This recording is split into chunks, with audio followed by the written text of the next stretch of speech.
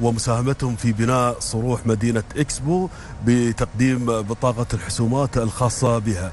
هالتفاصيل أكيد راح تكون مع ضيفنا سعادة اللواء عبيد مهير بن سرور نائب المدير العام للإدارة العامة للإقامة وشؤون الأجانب في دبي رئيس اللجنة الدائمة لشؤون العمال بدبي ورئيس جائزة تقدير العمالية في دبي أكيد رايحين نرحب فيه وناخذ معاه اللقاء ولكن نعم. قبلها خلونا نشوف معاكم هذا الفيديو ونعود من جديد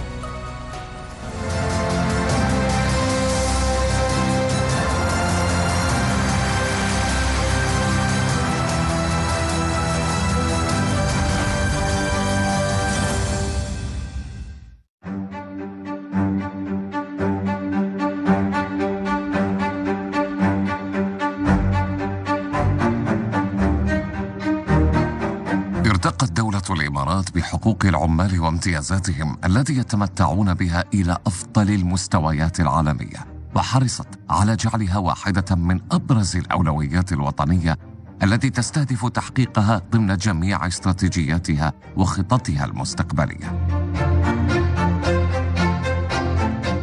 رعاية سمو الشيخ حمدان بن محمد بن راشد المكتوم ولي عهد دبي رئيس المجلس التنفيذي لجائزة تقدير زاد من بريقها لا سيما وأن قيمتها تتجلى في قدرتها على توثيق مكانة دولة الإمارات المرموقة عالميا في مجال العناية بالعمال وإيجاد البيئة الداعمة لهم وترسيخ مكانة دبي كأفضل مدينة للعيش والعمل والحياة في العالم. يأتي استحقاق دولة الإمارات لمكانتها المرموقة في مجال العناية بالعمال من خلال قوانينها وتشريعاتها الضامنة لحقوق العمال والتي وفرت لهم بيئة عمل آمنة وكريمة. من هنا تنبع أهمية الجائزة التي تمنح للشركات التي تقدم أفضل رعاية وبيئة عمل لعمالها وتكرم العمال المتميزين والمبدعين لإسهاماتهم في مسيرة البناء. توفر الجائزة 35 محفزا حكوميا متعاظما مقدمة من هيئة الطرق والمواصلات وهيئة كهرباء ومياه دبي وبلدية دبي والإدارة العامة للإقامة وشؤون الأجانب في دبي الذين آمنوا برسالة الجائزة ومستقبلها.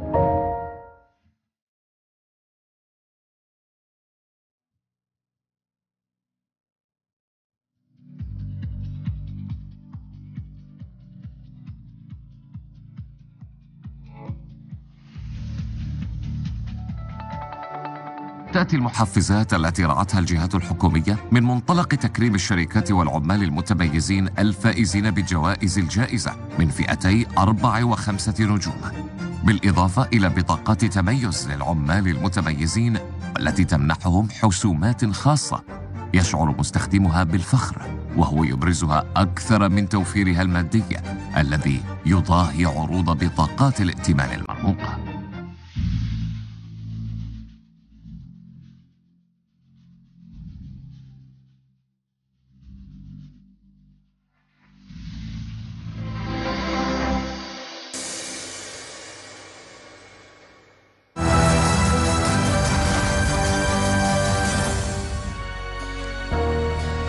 نعم مشاهدينا الكرام تابعنا معكم هذا التقرير المفصل عن الجائزة. نرحب وياكم أيضا بسعادة اللواء عبيد. يا أهلا وسهلا فيك. مرحبتين. لو تحدثنا عن هذه الجائزة أيضا والهدف منها. آه، بسم الله الرحمن الرحيم. آه، طبعا في البداية بغيت أشير إلى أن دولة الإمارات العربية المتحدة ولله الحمد لديها آه، تشريعات وقوانين. ولوائح ذات معايير عالمية تحمي حقوق العمال آه، وتحدد آه، واجباتهم وحقوقهم. آه، جائزة تقدير جت برعاية الشيخ حمدان بن محمد ولي عهد دبي لتعزيز التميز في في قطاع العمل والعمال. ومن هذا المنطلق جت جائزة تقدير. جائزة تقدير طبعا جائزة تهتم بنشر التميز في آه، قطاع العمال وما في شك يعني آه، العمال هم مساهمين معنا في مسيرة التنمية. وبالتالي يعني توجيهات صاحب السمو الشيخ محمد بن راشد آل مكتوم آه، نائب رئيس الدولة رئيس مجلس الوزراء حاكم دبي بأن نحن نهتم بجميع شرائح المجتمع وجعل دبي أفضل مدينة للعمل وللعيش. وكذلك دولة الإمارات العربية المتحدة ما في شك. يد جائزة تقدير حبينا ننشر التميز ما بين العمال وثقافة التميز وتقدير قامت على معايير أيضا عالمية. لقد ولله الحمد استحسان من منظمة العمل الدولية وجميع المنظمات الدولية سواء كانت العالمية أو الإقليمية أو المحلية. جميل. إذا جائزة مثل هاي جائزة مهمة. أكيد هناك الكثير من الشركات والشركاء اللي ساهموا معاكم واللي مسجلين معاكم. خبرنا كم شركة إلى الآن مسجلة معاكم وإذا حاب تخبرنا عن أبرزهم. جائزة تقدير طبعا أطلقت في 2016 طبيعي التميز ياخذ وقت. بدينا بالتدرج. في البداية شاركت تقريبا ما يقارب 800 شركة تقدموا للمشاركة. تأهلت من ال 800 شركة تقريبا 80 شركة. ومع مرور الوقت بدأ العدد يتزايد. الآن نحن تقريبا يعني على إذا نجمع كل دورات جائزة تقدير ونحن إن شاء الله مقبلين على الجائزة الدورة السادسة. يعني نحن طبعا عدينا ال 15 ألف شركة يمكن يعني أبدت رغبتها في المشاركة في جائزة التقدير. هذا شيء جيد تطور لأن التميز ياخذ وقته ونحن يعني على قناعة بذلك. ولكن هي ثقافة وقائمة على معايير يعني تقدير فيها يعني معايير تهتم بالبنية التحتية تهتم بالأجور والرواتب تهتم بالصحة والسلامة. وأضفنا إلى اللي هو الإبداع والابتكار لأن نحن محتاجين في المرحلة المقبلة أن نخرج ما عند العمال من خبرات ونستعين بها في تطوير هذا الجانب اللي هو جانب الصناعات وشركات البناء والتشييد وإلى آخره. نعم. يعني نحن تابعنا أيضا في التقرير أنكم كرمتوا اللي شاركوا في افتتاح إكسبو نعم. 2020 وخصهم البوابات وصروح إكسبو لكن نعم. كل واحد بيقول مثلا في عمال كثير اشتغلوا. كيف تمت آلية اختيار هؤلاء العمال؟ أول شيء نشكر حقيقة القائمين على إكسبو 2020 اللي هم حقيقة يعني ساعدونا كثير. الجائزة عادة هي كل سنتين ولكن نحن استحدثنا تكريم خاص للعمال اللي شاركوا في في بناء إكسبو. ولو نشوف اكسبو يعني في صرح موجود عليه أسامي كل العمال اللي شاركوا في في بناء اكسبو. طبعا اكسبو يعني لا يتكرر يعني يعني يمكن الدول تستضيفه مرة يعني في العمر ومرة في مسيرة هذه الدول. فنحن ارتئينا أن لازم تكون جائزه تقدير لها تواجد وكرمنا الشركات والعمال اللي ساهموا في بناء اكسبو 2020 وهذا مثل يعني تقدير تقدير الأشخاص يعني حقيقة اللي اللي ساهموا في بناء هذا الصرح هذه العمالة طبعا اللي شارك شاركت دولة الإمارات في مسيرة التنمية. طبعا تحصل على الكثير من الامتيازات وبطاقات الخصومات. ربما خبرنا أكثر عن هاي الامتيازات اللي يحصلون عليها. نعم. هي في البداية طبعا الشركات تحصل على محفزات.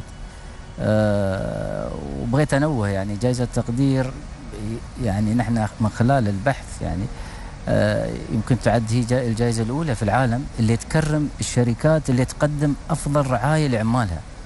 يعني عادة تكون الجوائز تمنح للشركات تمنح تكون أو تكون فردية ولكن نحن نكرم الشركة اللي تقدم أفضل رعاية للعمال من ناحية البيئة والصحة والسلامة والتحفيز وإلى آخره. فالشركات أيضا تحتاج تحفيز والعمال يحتاجون تحفيز آه يعني نشكر دوائر آه حكومة دبي اللي يعني شاهدناهم في في التقرير أنهم قدموا محفزات لهذه الشركات. هذه المحفزات طبعا بالنسبة للشركات آه توفر الكثير يعني حتى من الناحية المادية من ناحية بعض الأمور يعني متطلبات يعني تسرع في عملية العمل لديهم. وأيضا في محفزات للعمال. فكانت في آه، جائزة الخصو... آه، بطاقة الخصومات اللي هي بطاقة التقدير اللي هي تمنح للعمال. وزعنا تقريبا إلى الآن 162 ألف بطاقة على العمال. فيها طبعا هذه شبكة من المحلات محلات التجزئة والمستشفيات والجامعات إلى آخره. العامل يقدر يحصل عليه على خصومات في هذه المحلات آه، يقدر يدرس أبنائه في جامعات طبعا في الدولة. ويحصل على أيضا خصومات آه، يستفيد من الرعاية الصحية يستفيد من الخصومات اللي تقدمها بعض المستشفيات اللي هي في إطار هذه الشبكة المحلات والمستشفيات. وبالتالي توفر عليه يعني الكثير حقيقه فتحتوا على نفسكم باب. المواطن الحين بيقول لك أنا أبغي نفس هاي البطاقة تشمل كل هاي الأمور بدل ما عندي بطاقة صحية بطاقة المواطنين عندهم اسعاد آه، اسعاد بس ما, ما فيها بصحي وغيره وغيره. يبغي بطاقة شاملة. طيب هذا التحفيز يكون تحفيز يعني مادي وأيضا معنوي. من التحفيز المعنوي أكيد راح يكون التحفيز النفسي. آه، كيف تقدر تتكلم عن هذا الجانب؟ يعني التحفيز النفسي يعني إحنا من خلال مسيرة جائزة تقدير حقيقة طلعنا على كثير من القصص بالنسبة للعمال. ومشكورين يعني إذاعة وتلفزيون دبي آه، ما قصروا في شهر رمضان آه، أذاعوا تقريبا 15 حلقة. نعم. وطلقنا عليها اسم وجدت نفسي. هذه العمال كانوا يعني في بلدانهم وأتوا إلى دولة الإمارات ودبي وحصلوا فرص عمل وبعضهم أصبح مدير الشركة. و... وتونا نتناقش تحدث مع الإخوان أقول لهم في بعض القصص يعني نستغرب يعني العمال مو يعني بعضهم يعني كانه حياته فيلم. يعني عايش في في بلاده يعني جتنا قصة هذه واقعية عايش في بلاده من أسرة غنية. تغيرت الأحوال والأحداث نتيجة أحداث اقتصادية والى آخره. آه آه الأب أفلس آه العمل عنده توقف دخل في ديون نعم. آه انتقلوا من البيت الكبير إلى العيش في صفائح اللي هي يعيشون فيها يعني الناس اللي هم آه تحت مستوى الفقر. بعد ذلك البنت وجدت آه عمل فرصة عمل في دبي ويت واشتغلت في دبي وهذه يعني الحين أصبحت مسؤولة مديرة في الشركة اللي اشتغلت فيها رجعت مرة ثانية وبنت بيت نفس البيت السابق اللي كانوا يملكونه وبدت حياتهم تتحسن طبعا قصص كثيرة حقيقة نعم. ولكن يعني آه، دبي حقيقة دولة الإمارات أرض الأحلام جميل. يعني هذا اللي شفناه وشفناه كواقع و و وأيضا نحن عندنا فريق ذهب إلى كل آه، صاحب أو قصة آه، مؤثرة. قصة نجاح وقصه مثيره إلى الدولة اللي هو كان فيها وتأكدنا وكان في تصوير. فحقيقة يعني بالفعل. دولة, دولة الإمارات, الإمارات هي حاضنة لأحلام هؤلاء أرض الأحلام ما في شك أرض نعم. طيب هناك سمعنا إن في الكثير من البرامج آه الأخرى اللي آه تشجع وتدعم آه العمالة وكذلك الشركات اللي تدعم العمالة كذلك.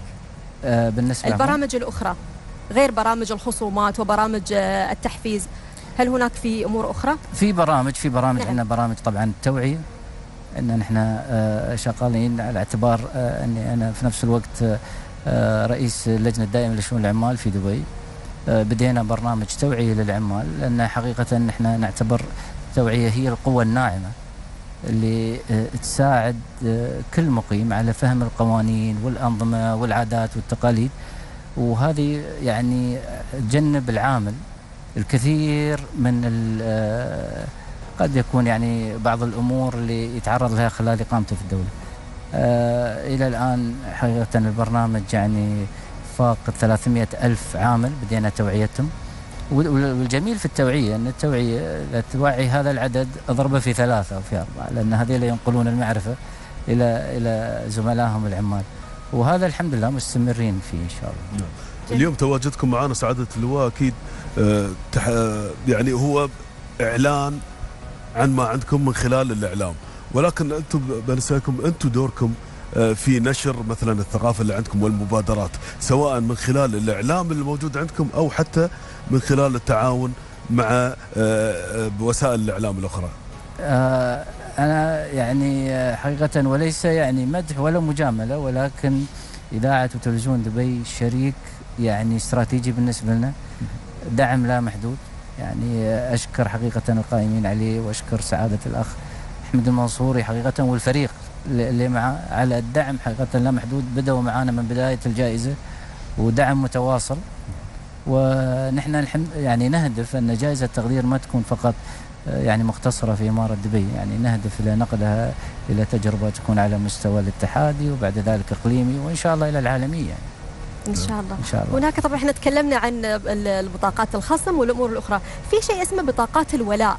شو هذا بالضبط؟ ممكن يعني تخبرونا تفاصيل أكثر عن هذا الموضوع؟ بطاقات الولاء هي يمكن تكون يعني الاسم الرديف لبطاقات الخصومات. يعني نعم. آه الولاء عادة يعني تكسبه بتقديم آه محفزات بتقديمها وبالتالي يعني آه هو الاسم المرادف فيحصلون نقاط في كل مرة يصيرون فيها نقاط بيع يمكن يحصلون نقاط ويستفيدون منها. بالضبط يستفيدون منها يستفيدون من الخصومات نعم. يستفيدون بالتوفير يمكن هي تكون نقاط بسيطة ولكن بالنسبة للعامل البسيط هذا يعني يمكن يوفر عليه الكثير. هي طبيعي أكيد أكيد. لأن العامل لما نحسب قيمة مشترياته أو التحويلات حتى في نظام التحويل يعني نعم. يحصلون خصومات. فلما تيجي تحسبها في آخر السنة شوف إنه موفر مبلغ يعني مش بسيط يعني من خلال نعم. الخصومات هذه. صحيح. نعم. هذا شيء جميل. ولكن أكيد. طيب نتكلم ونؤكد على مثلا وجدت نفسي. نعم. هذا وجدت نفسي أكيد الناس اللي يعني يسمعون عنها أو آه، حد منهم مر عليه هذا الاسم. ولكن شو هي وجدت نفسي وليش أخذت آه، هذا الاسم بالضبط؟ أه وجدت نفسي هذا يعني طبعا عقب جلسات طويلة مع مع الفريق والإخوان.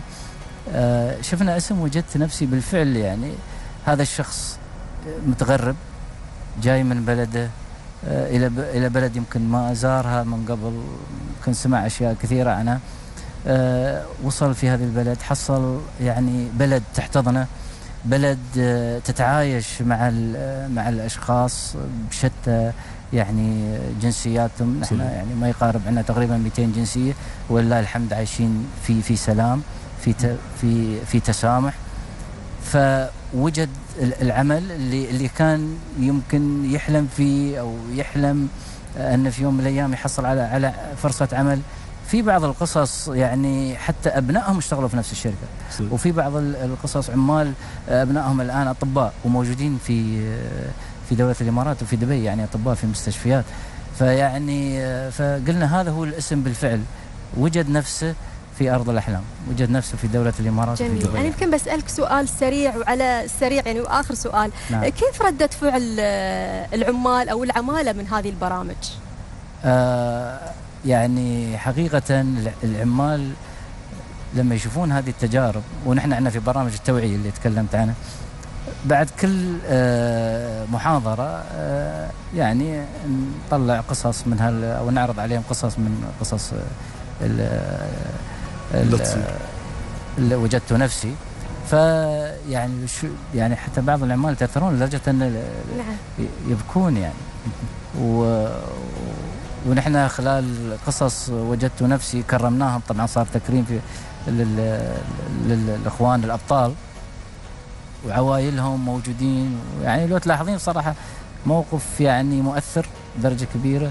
أه شوف هذيل العمال كيف بدوا وطبعا على السريع يعني آخر هذا في حتى عندنا تعامل المواطنين دولة الإمارات مع العمال تعامل جدا راقي.